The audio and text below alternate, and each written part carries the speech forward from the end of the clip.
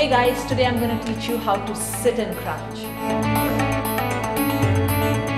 We're going to start with keeping our feet slightly wide apart, arms up like a V position, okay? You're going to breathe in, take your left arm to your right toe and up.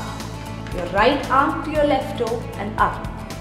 And up, down and up. One and two. So, this is really good for abdominal muscles and your obliques. All of y'all who sit on desk all day, this is great to really brace your upper body.